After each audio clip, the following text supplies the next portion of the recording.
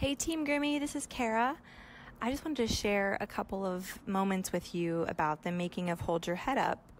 We were actually in me and Brennan's home studio in Nashville, Tennessee at the time, and this was about two weeks before Brennan and I were moving to LA, and Christina was actually planning on moving to LA as well pretty pretty shortly after that. So we were all kind of talking about life and troubles and adventures and, you know, just things that are on the horizon that you can't really plan or that you can't really avoid. And that kind of got us thinking about the times when Christina's fans would be pretty transparent with her and open up to her about certain hardships and trials that they were going through. And she really opened up to me about how how much that affected her. She hated seeing her fans upset and always talked about how she wished she could be there for them. Um, so we kind of talked about that leading into Hold Your Head Up High. And that just followed with the chorus, the lyrics, hold your head up high, hold your head up high, even in the darkest night. Everything that you do, I'll be there for you. And she was basically like, that's her, her, anthem for her fans, you know? It's like she wanted them to know that she, if she could, she would be there for them anytime especially in their time of need. And that just goes to show what kind of person Christina was.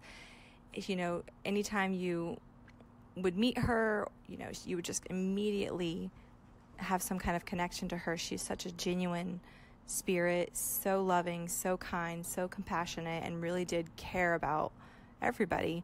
So obviously, she cared about her fans and really wanted to um, write a song about that. And then during the session, we had so much fun. And Brennan and I had worked with her.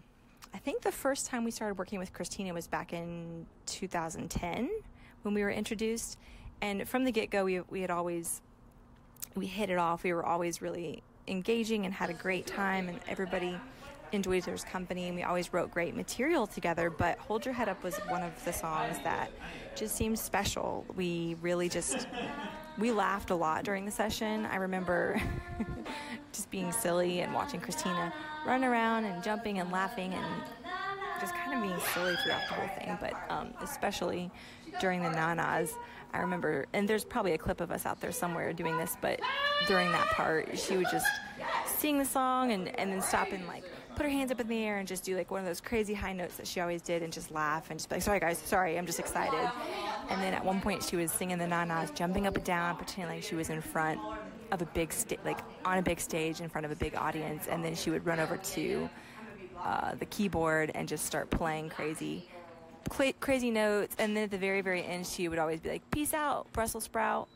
I, there's got to be a video of that somewhere, but I have really fond memories of that day just because there was a lot of laughter, a lot of love, um, a lot of really wonderful memories that were made in that room.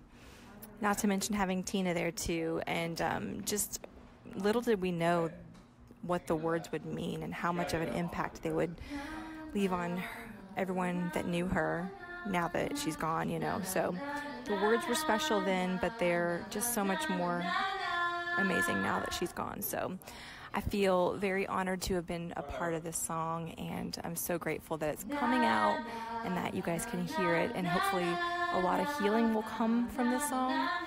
And just know, um, I, I just think that I kind of feel like her voice, for some reason, in this moment, just just kind of saying all the things that I feel like maybe she'd want you guys to hear, especially through these lyrics. But just know that when you listen to these lyrics, she really did have you know her fans and her family in mind and um, it was also sometimes the way that maybe god god is with us you know and how god loves us and he'll be here for us even in our darkest times. So that's a pretty remarkable love and a pretty remarkable thing to um, to understand. So all right i hope this um, brings healing and i hope that you guys will love the song and um, just hold your head up high